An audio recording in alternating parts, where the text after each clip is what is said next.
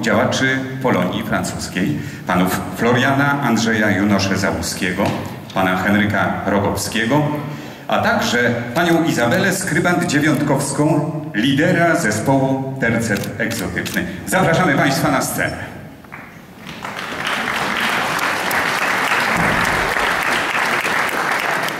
Zapraszamy pana Floriana Andrzeja Junosze-Załuskiego i pana Henryka Rogowskiego. Witamy panów bardzo serdecznie. Księdza biskupa uprzejmie prosimy o udekorowanie wyróżnionych. Obaj panowie są przedstawicielami Polonii francuskiej. Od najmłodszych lat związani są z działalnością polonijną w różnych organizacjach młodzieżowych, jak Katolickie Stowarzyszenie Młodzieży Polskiej, Stowarzyszenie Studentów i Absolwentów Polskich we Francji. Aktywnie działają w Kościele Polskim w Paryżu. Pani Izabela Skrybant-Dziewiątkowska, polska piosenkarka, wokalistka zespołu Tercet Egzotyczny, związana z zespołem od początku jego istnienia. Była solistką operetki wrocławskiej. W 1964 roku zadebiutowała na dużym ekranie, grając u Wojciecha Hasa w rękopisie znalezionym w Saragosie. Dodajmy, że w 2010 roku pani Izabela odebrała nadany przez ministra kultury i dziedzictwa narodowego medal zasłużony kulturze Gloria Artis.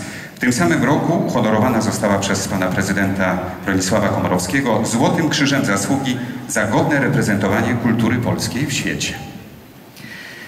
Pan Henryk Rogowski od wielu lat prowadzi e, działalność gospodarczą i przemysł w Polsce.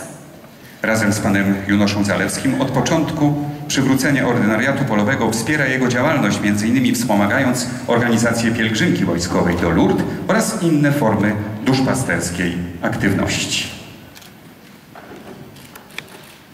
Wiwat, wiwat, niech żyją, wiwat, wiwat, niech żyją, wiwat, wiwat, niech żyją, wiwat, wiwat, niech żyją.